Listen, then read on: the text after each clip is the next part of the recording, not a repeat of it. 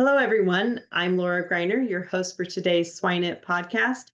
And with me today, I have Dr. Brett Ramirez, who is an assistant professor at Iowa State University. Hello, Brett. How are you today? I'm good. How are you? I'm doing very well. Thank you. So, Brett, before we jump into the topic at hand, um, let's have you introduce yourself to the audience a little bit just so they're familiar with your background. Sure. Yeah, as you already mentioned, I'm an assistant professor in agricultural and biosystems engineering here at Iowa State University.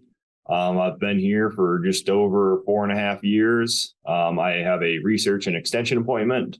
Um, both those areas kind of surround swine and poultry housing, ventilation, energy efficiency, bioenergetics, instrumentation, environmental control, uh, thermal comfort, air quality, gas emissions, kind of you name it. And then more on the extension side um, is related to doing uh, hands on um, ventilation workshops with producers throughout the state and the country. Um, and that's probably good enough for to start. no, that sounds great. I think that's a really good introduction to your, for yourself to the audience. Um, I know you, of course, as my ventilation expert, my go-to person. And I know you've also been involved recently in a lot of different projects, right? Anywhere from turkey and poultry barns to going out and looking at already built facilities for swine and trying to help problem shoot. And so I thought today might be a good opportunity for us to start from the ground up, if you will, and talk about things we should consider when we are planning a facility. And we'll talk sows and then I'll have you talk wean to finish because I know ventilation's different.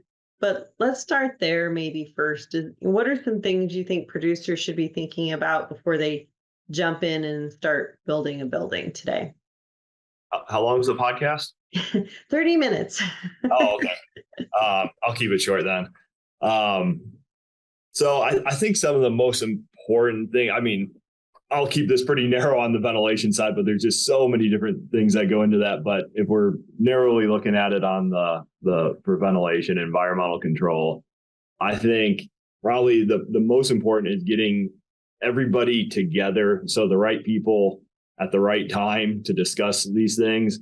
Um, just in a lot of some of these past experiences, everybody gets brought in, you know, two months after each other. And then by the end of it, it's just not quite a fully functioning system. And that's everyone from, you know, the engineers, builders, contractors, electricians, plumbers, um, you know, you you just go down the list and they're all, they all get some input, which is really well valued and needed. Um, but it's it's the timing and synchronization, I think, of that input that is just so critical to getting, you know, the the ventilation portion of it it done correctly. Um, you know, other things I think, you know, technology always has to be somewhat considered in that, just as it's always changing, and especially uh, today with it being changing so rapidly. Um, I think producers always have to kind of keep that on the forefront, as well as different just changes in style and, and other things that you know is you know the the way sow farms that are ventilated today is quite different than probably four or five years ago um, for example. So you know being a, being on top of that and how fast those can change is um, is always important. Mm-hmm. what would be some some things for the sow farm specifically the, that we should be thinking about today? I know you know, over the years, we've seen ventilation styles change and, and positive ventilation kind of seems to be the one, but there's been some discussion that maybe there's other options that we should be considering and just kind of want to ask you, what do you think?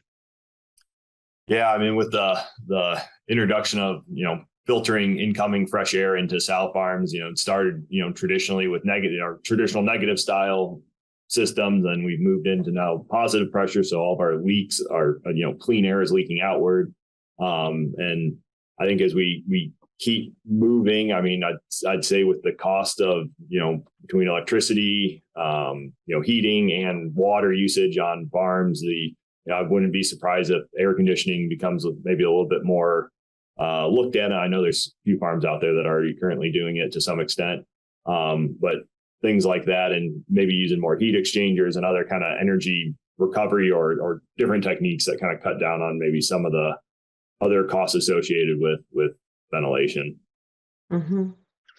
What are some maybe hiccups or things that might trip us up on a sow farm that that we should be watching out for? So uh, maybe you've been in some barns recently where you've kind of looked at and go, "Oh, we should have thought about that before we built, or or even after we've built." Yeah, I think it it comes down to doing the some of the design math up front. Um, you know, making sure things are sized properly because they're almost impossible to fix later. And if you think about the lifespan of the building, I mean, you only really get one shot at some things. Um, and to make sure that those are done correctly at, at, at start. So, like for example, making sure you know whatever your flow rate per filter is is you know looking at specific filters you know maybe having in mind that those manufacturers won't be here in five to ten years and what are some other potential you know if, if and i know it costs money to add space but you know keeping in mind what that cost is you know if you're short on airflow in 10 years and um, my guess is that it, things are probably only going to get warmer and cells are going to keep producing more heat.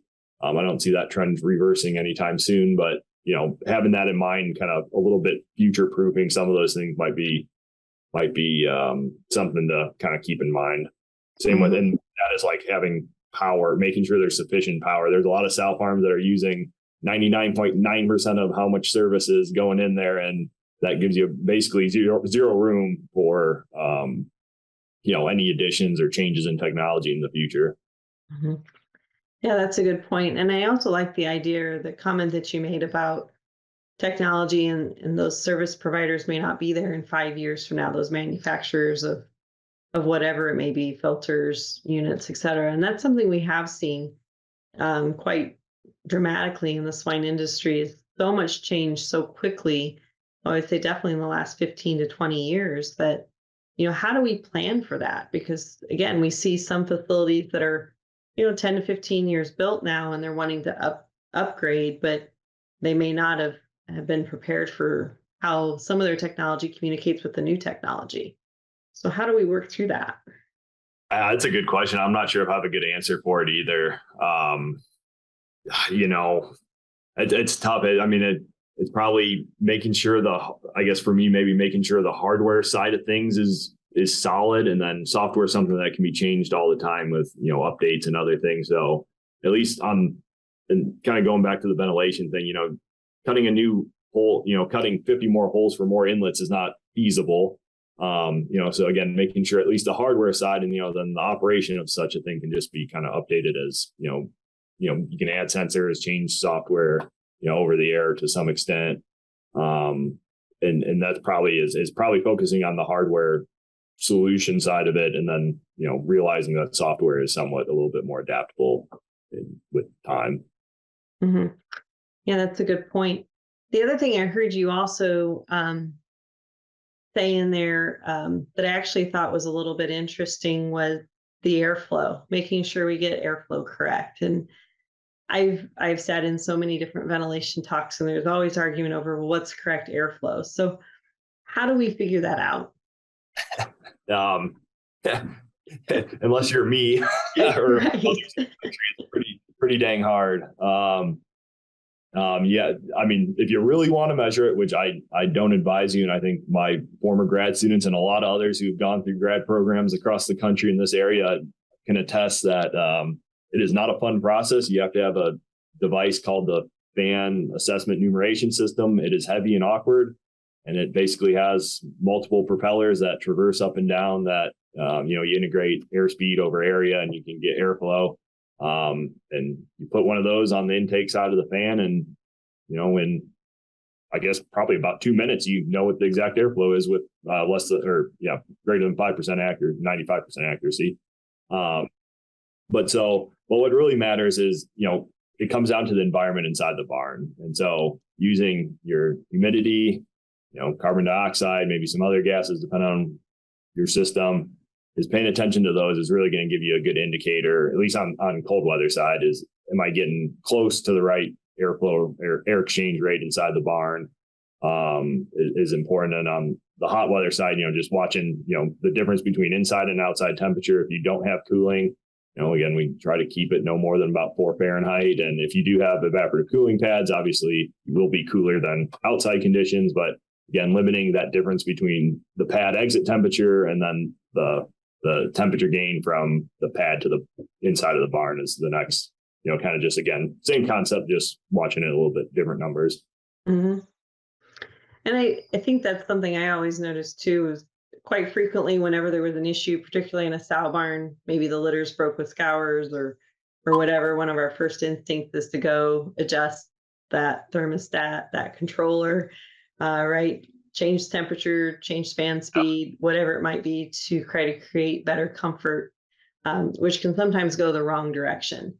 And particularly when we talk about living in an area where we do today, where we have four different seasons and two of those seasons can get some pretty wide range in temperatures.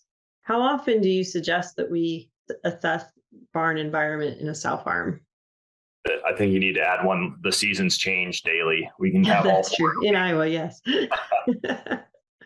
um, but in terms of of change in settings, I I prefer so touching the the controller is the easiest and fastest potential solution. Um, however, you know, there's generally some underlying problem that probably should be addressed, and the controller should be maybe the second thing.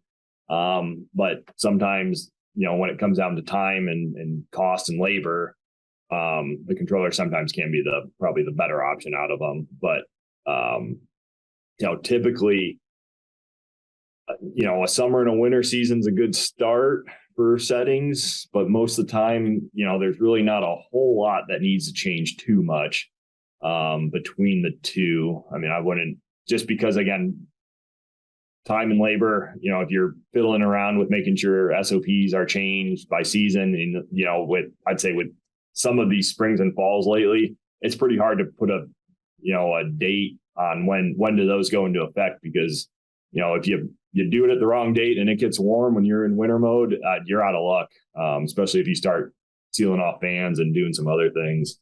Uh, so I think from a simplicity standpoint, it's easier to kind of just stick with one throughout the year and and going back to the design and, and equipment, making sure that equipment's in there that can handle kind of that that uh, dynamic weather that we often experience on a day to day basis.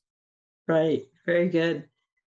Um, well, let's kind of jump over to wean to finish for a minute and let's talk again. Let's start with design. So, you know, what are some things that we should be looking for with the design of a wean to finish barn today? Um, I think from ventilation, probably not a whole lot has been too interesting compared to sows. I, I'd say in the last five to ten years, but um, I, there's still, you know, things are constantly evolving. I'd say probably technology is creeping its way into the wean to finish side of things, um, especially with remote access for you know a lot of producers who aren't typically there all day. Um, being able to kind of check in and make sure things are going right has really kind of probably changed that side of things. Um, I think there's still a continued discussion of pit fans versus sidewall fans. Do we need pit fans? I think that conversation still um, keeps going on. Um, I think everybody's got a kind of an opinion about it. Um, so um, that's a probably a good, interesting one. Um, and say probably the other one with kind of moving some of the more um, the larger direct drive fans that have been on the positive pressure sow farm, you know, like a Munters M drive, a Hog Slat and Infinity fan, um, the AP Commander ones, you know, those kind of making their way into tunnel barns as a you know way to you know reduce energy costs and kind of smooth out that transition from say you know whether state whatever the last stage of uh, uh, inlets are, so stage five to stage six where tunnel one starts. Um, just kind of smoothing that out a little bit is kind of kind of unique. Um, probably the other thing would be, um, you know, maybe seeing more barns with radiant tube heaters in them instead of um, individual brooders per pen or two brooders per pen, just tubes going down the length of the barn. Um, you know, cuts a lot down on labor and maintenance between seasons. Um, you know, they hang up there all year. You don't have to worry quite as much about pilots going out, you know, picking them up, moving them, raising lower and stuff like that. And so I, it's another kind of interesting one that's kind of, I see a little bit more frequently as I keep going out. Mm-hmm. Mm-hmm. That's interesting what are some maybe hiccups that we should be watching for and, and try to avoid in the wean to finish barn? Hiccups. Hmm. Let's see. I think with with all of them is is getting the pig started right. Um, preheating the barn with sufficient time, making sure the concrete's warm. You know, concrete takes at least a day ish or more to warm up, depending on several factors. But um, you know, it takes time. Um, you know, making sure it's pretty much draft free, dry, and warm. Um, so when the pigs get off the truck, they've got a pretty good environment to go into. Um, that's probably one of the, the, especially out here. I mean, maybe not in all climates, but at least this one, um, we need to always be paying attention to that. Hmm. That's a good point. You uh, have said the word technology multiple times while we've been visiting, and so let's go there. What are some technologies that you see on the horizon that that could bring value to our swine industry? Hmm. Oh, that's a good one. I guess I haven't thought too much about that. Um, I guess from more of a ventilation side, I think maybe some of the heat exchangers um, could be kind of interesting as we probably as propane costs keep you know increasing and the the say the increase in propane costs and desire to increase air quality in wintertime. So, you know, humidity management and, and, you know, noxious gases management. So I think revisiting, you know, recapturing some of that heat that's lost through ventilation, since I think it's about 80 to 90% of all the total heat loss in winter is right out through the fan. Um, so that opportunity with new technology in terms of, you know, the, the, the fin designs and, and cleaning and things like that could maybe help spur you know that decrease in propane but you know by simultaneously improving air quality at the same time. Mm-hmm. Mm-hmm. that's interesting. We've talked a little bit about technology. We've talked about building design measuring airspeed airflow are there classes or opportunities for people who want to learn a little bit more about what to do within their barns? Yeah um you know, depending on what level you want to get into that, um, probably a more, you want to kind of a broad view that includes design and management, the Swine Science Online, I think it's ANS 382. That sound right? It's the one Jay Harmon teaches. Um, is a good one for more remote learning. Um, for the more hands-on side, I mean, at least if you're here in Iowa or within some of the surrounding states, um, you know, you can have, you know, personalized to some extent ventilation workshops. Um, otherwise, I mean, I still like the trusty Midwest Plan Service 32 that's available on the Iowa State Extension Outreach store. It's got, I mean, it's stood the test of time, but it's got great information if you're looking to just kind of learn the ins and outs of, you know, design and, and management. Um, desperately need some updating, but it, it's great overview if you're that's part of one's duties in, in a company. Um, some other books out there, but um, they're good ones. Okay. No, that's very useful.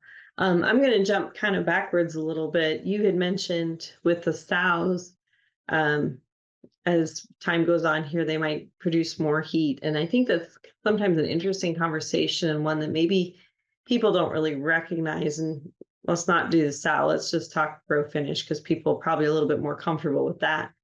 If we think of a barn of 1,200 pigs growing in, in a wean to finish barn, how much heat do they typically produce?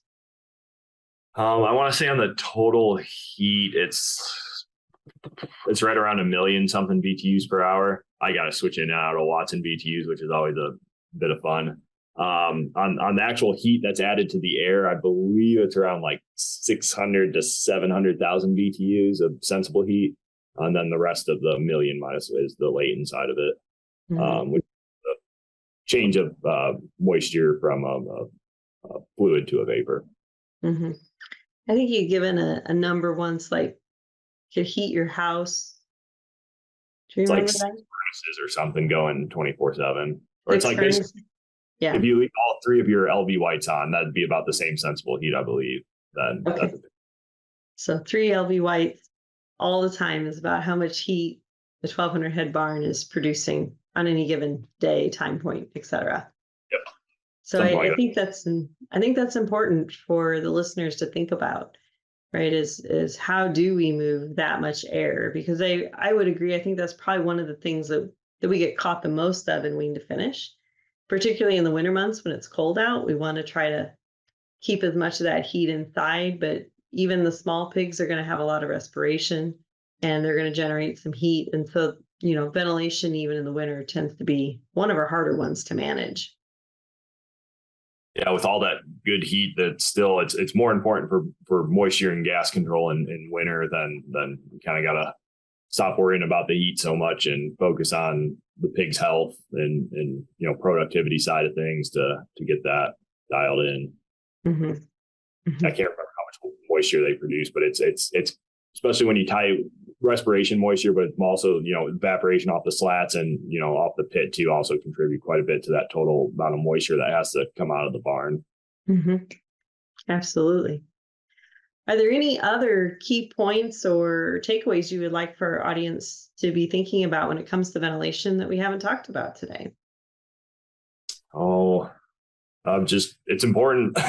can't forget it. it can't be on the back burner on on you know most things like it tends to be. Um, you know, maintenance is critical. Understanding it's critical. Um, you know, if you need resources or help, feel free to reach out, or you know, you can Google a little bit, and there's some good stuff out there. Um, but yeah, it's one of those things. You know, it you know the ventilation workshop. I think is is the thing is uh you know the unseen employee because it is you know something that is working you know 24 hours a day seven days a week and if it fails it's pretty catastrophic um, if the right fail safes aren't put in say put in place. Um, but you know as it's easy to take it for granted when things are working well but you know when things don't work it, it it's very problematic. So that's you know it's one of those things that always got to kind of keep checking keep maintaining and and know know what's what to do and when uh, in the daily, you know, list of the thousand things I have to get done. Mm-hmm. Absolutely. That's very good. Well, Brett, um, we always like to ask our guest speaker a couple of questions. And so we're going to kind of jump over to that now.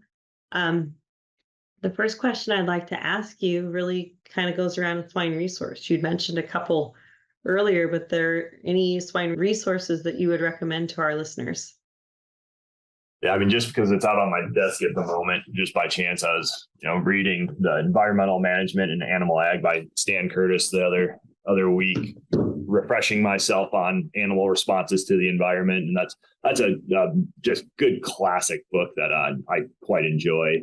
Um, you know, not super ventilation heavy, but on understanding the animal and its responses and, and modeling and and and kind of that whole area is it's a I mean, it's a really solid, thorough book that covers so many different topics that if you haven't read that one, I would highly encourage checking out. It. I think it was published in 89. I should know this. 83, sorry. Um, so it's been around for a while, but um, you know, the information in it is is great. Mm-hmm. And it sounds like it would be, especially if we start talking about what the animal experiences during environmental changes. I think that's good for our producers to take a look at and think about maybe in a little bit different way than what we currently look at it. Um, so the next question we like to ask is if, how about something that's not related to pigs? Is there a book or an audio book that you're reading or listening to currently that you would recommend to the group? Yeah, so I, am also a, a, member of the American Society of Heating, Refrigeration, and Air Conditioning Engineers, and um, it's ASHRAE for short. Um, and they they put out a uh, monthly journal, I believe, or a quarterly journal um, that they have their members write and contribute articles to, and it's um, you know obviously all tailored towards human occupied spaces and sometimes plants, but mostly humans. Um, and some of the information they have in there is um, just really interesting to see kind of their perspective and and also look at when you you know they have their technologies and things are so much different for um, you know when you don't have to make a profit on your building. You know it's a very different view than when that building has to cash flow every every turn versus the building that you and I are sitting in right now is you know doesn't have to make money. It's you know it's um, single single direction for our pure comfort and and saving utilities for the university so even though my office is freezing cold at the moment, um, but that's a it's a good journal. I mean, not everybody's going to be a member to get it, but um, I think they also ASHRAE has a podcast now that they just came out with in the last couple years. Um, I think they go over some of the topics. So you know things like uh, one of the big ones right now with with um, especially due to um, the pandemic was reevaluating you know air exchange rates in like schools and our office environments and what the the limit for carbon dioxide is and believe right now it's a thousand ppm for the time weighted average for our our occupied spaces, but you know, with changing in air exchange rates and some new studies coming out on on that kind of lower continuous exposure to CO2 concentrations. Uh, there's been a lot of articles on it. So it's kind of interesting just to read from that side and the impact it has on humans. Mm-hmm. Yeah, that is really interesting. That could be some fun reading for sure. Uh, well, the last question we like to ask our guest speaker really goes around um, if you can think of somebody in your life that you've defined as successful, what's a key trait that they have that you think's allowed them to be successful? Um, I can think of a lot of really great mentors I've had over the years in and outside of academia. But I, I think the one thing that sticks out for a lot of those people uh, to me is is perseverance. Um, you know, it's you know just being persistent. You know, in spite of you know things being challenging, difficult, um, delays, adversity. I mean, all those things. But it's that perseverance that I think really kind of defines some of those people um, because when everything's going good, it's you know it's great, but when it's bad is when I think a lot of the true character is shown, and that's what kind of separates um, you know people who are successful and and, and others in, in in my mind. Mm-hmm. That's a good one. I like that trait. Well, Brett, I do want to thank you for your time today. Uh, for our audience, again, this is Dr. Brett Ramirez. He's a assistant professor at Iowa State University.